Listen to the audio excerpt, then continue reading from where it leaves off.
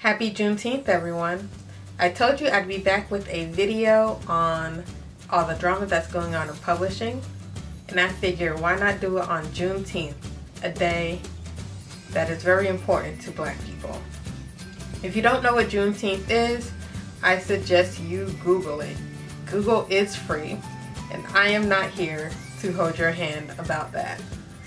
Also, please kind of ignore the mess going on back there. I'm currently renovating my office, so things are a little disorganized right now, but don't worry about that. Just ignore it. So now on to the drama.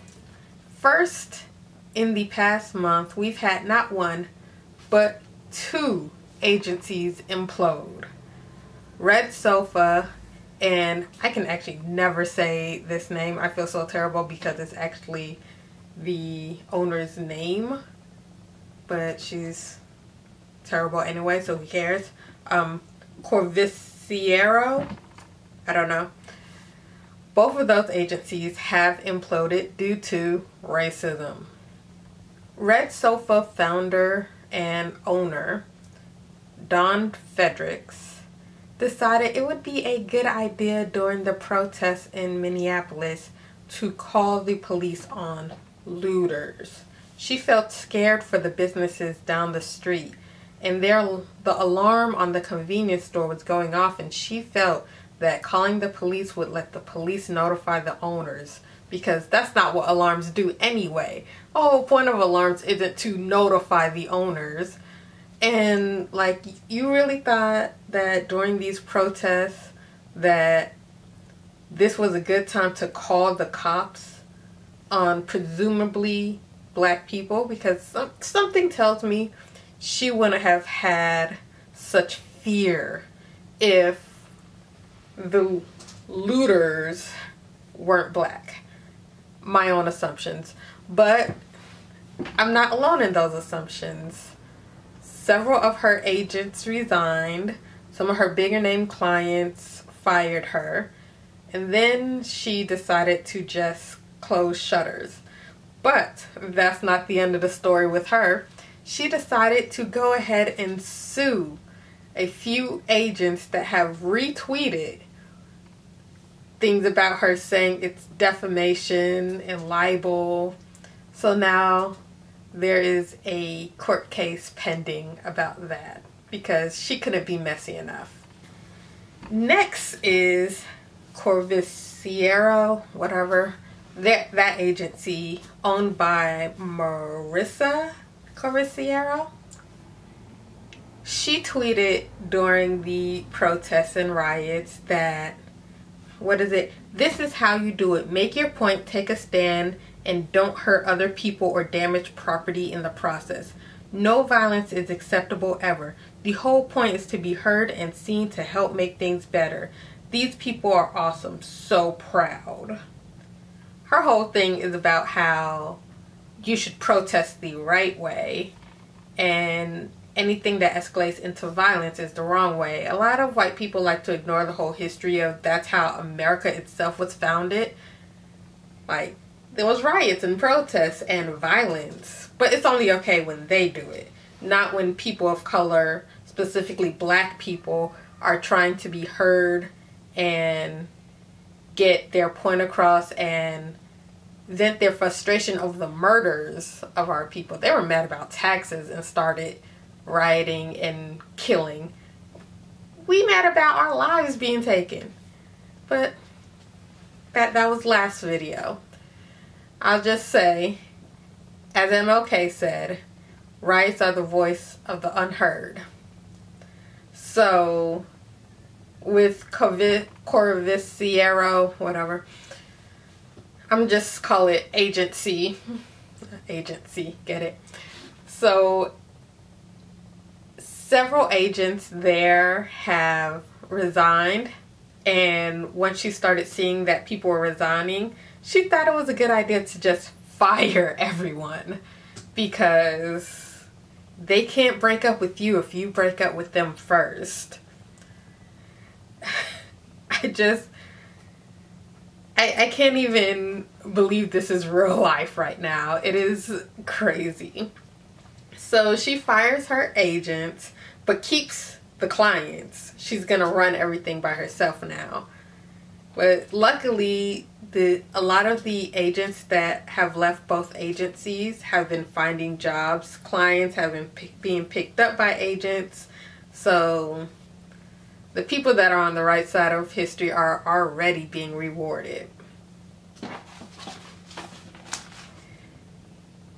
Next on my list is also dealing with the riots and everything. With Black Lives Matter becoming a bigger thing, people decided to show that they do care about black lives and especially in publishing because everyone knows that publishing can be very white woman centric. So a lot of agents and editors have opened up their DMs to answer questions. If they were closed to queries, some of them have opened specifically just for black indigenous people of color. And like every everyone's being all rah rah, we love black people now. So if you're a black writer, I'd suggest taking advantage of this right now. I can't even lie. I've like slid into some DMs, gotten some questions about publishing answered. It's actually been very informative and I'm glad that people are opening up and being more open to creating opportunities because I'm a firm believer of equity, not equality.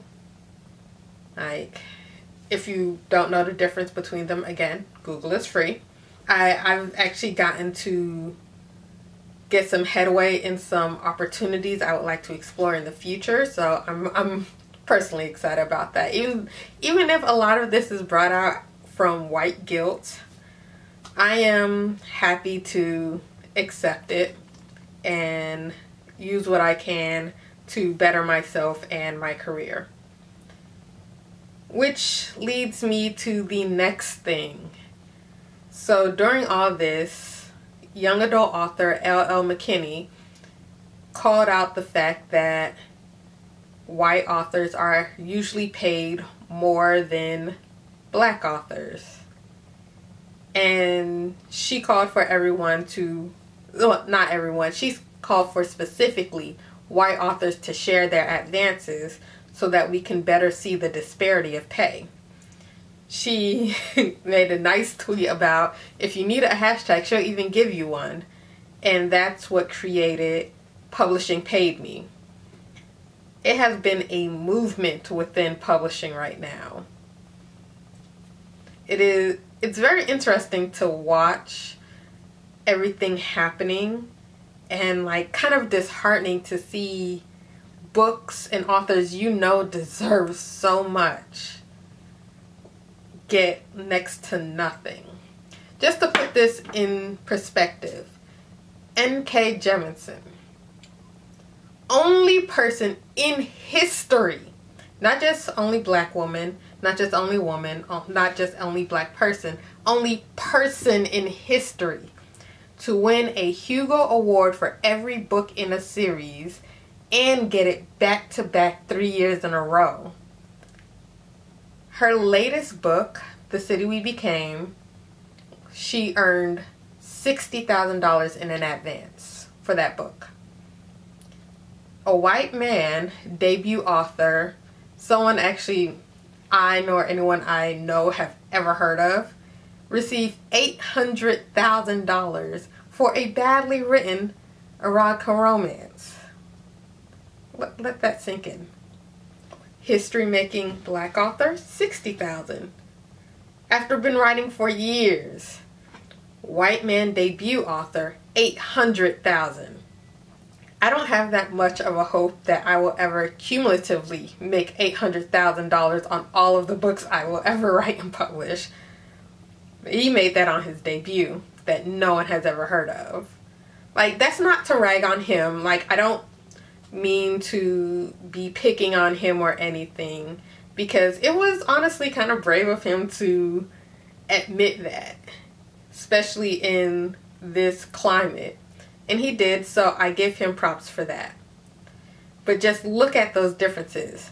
I will also say that N.K. Jemisin has said that she prefers lower advances because then she gets to her royalties faster and those earn her a lot more. So there is that to take into consideration. But another example to show this is Dhonielle Clayton, author of The Belles, ooh, earned, I believe, $45,000 for The Belles as an advance. Scott Teagan, I believe his last name is. Oh, he's a cis white man who wrote about a black male teen and got a hundred thousand dollar advance for that book. So black woman writing about black people, forty five thousand. White man writing about black people, hundred thousand dollars. Do, do y'all see this disparity? So hopefully this coming to light will give agents and authors more power of putting some weight onto publishers to give black authors what they deserve. I will put a link below to the spreadsheet that has been created for Publishing Paid Me. A lot of the stuff on there is anonymous, but it is like morbidly fascinating information. But to tie into Publishing Paid Me, we have two other things happening in publishing. The first is an article that exposed some of the racist practices of the New York Times bestseller list. It talks about how if a book hits the New York Times bestseller list, on average, it earns 57% more sales. And the disparity between how many white authors versus how many authors of color get put on that list is staggering. And they they pointed out that there has not been a black debut author on the list in 2 years. I forget how many they said for white authors. I think it was like 22. But there's been too many good books out there that I know have sold well. And it's funny because right after this article came out, suddenly the New York Times bestseller list decided, oh, at number 10 this week is this black debut author. Despite her and two other authors, black authors, that debuted that week, book being sold out like everywhere. She's the only one that hit the list, and she only hit number 10. Like, call me a conspiracy theorist, but to me that very much showed that New York Times bestseller list just wanted to do some performative wokeness. Especially since the very next week she was no longer on the list. Coincidence? I think not. In response to the expose about the list has been the movement of black out the list. It is encouraging everyone to buy two books by black authors in the hopes that we boost sales of black authors' books so much that we can just have all black authors on the list.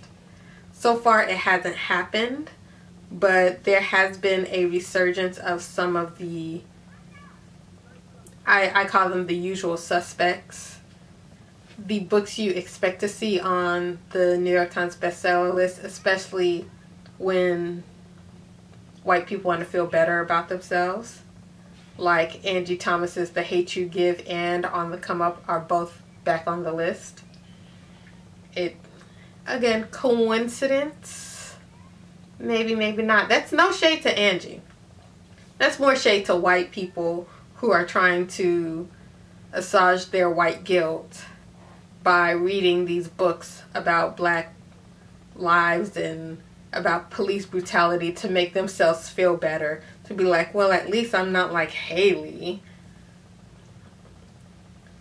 That, yeah. So, like the next thing on this list, I tell you, there's been so much going on in publishing. On the day that the Supreme Court upheld DACA, a new book was announced. It's called Love in English by Maria Andreu. And it's supposed to be about a an immigrant teen, a, a Latinx immigrant teen's experiences. Well, we have another American dirt on our hands, guys. Because this Latinx American teen it's supposed to be from Argentina and supposedly owned voices. Is written by a white Latinx woman from Spain. Actually, I, I believe most people say that if you are from Spain, you are not Latinx because Latinx means from Latin America. So, no, she's, she's not Latinx at all. So, just a white Spanish woman writing about Latinx experiences being immigrants. She received a two book major deal for that. And for those of you not in the know, a major deal means at least $500,000. So while we're looking at Publishing Paid Me about how people of color are not being paid the same way white people are, on the day Supreme, the Supreme Court upheld DACA, we announced a book by a white Spanish woman about Latin American experiences. Just slow clap it out. I just I don't I don't even know what to say about that cuz honestly it's not my lane. I am not Latinx, so I am sure other Latinx booktubers or author tubers or people on Twitter would be much more eloquent and knowledgeable about what they say on this. But I just I call bullshit. But I I would like to end this video that is longer than I expected it to be on a good note. So today is Juneteenth and several black authors and editors and just people in publishing came together to create a new book festival. It's purely virtual called Juneteenth Book Fest. I had the amazing opportunity to live tweet some of the panels today, which is part of what took me into the evening to actually record this video. I was too busy watching these amazing panels. But it's it's beautiful seeing these all black panels talk about things not about being black and how hard things are.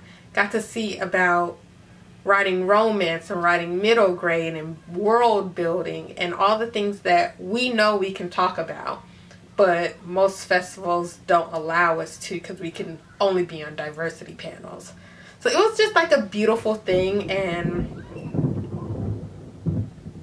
oh goodness i guess it's about to storm so i'm gonna hurry up and wrap this up before it starts pouring but Juneteenth Book Festival was a beautiful thing. It is all on YouTube right now. So you can, as soon as this video ends, you can hop on over to their channel. I will put a link down below so you can watch all of these amazing panels with authors like Kwame Mbalia, um, editor, agent, and writer Patrice Caldwell, um, writer Karen Strong, Tracey Deonn, like some amazing people. I, I encourage you all to go and watch. So turn off this video now and go watch. I'll catch you later. Bye.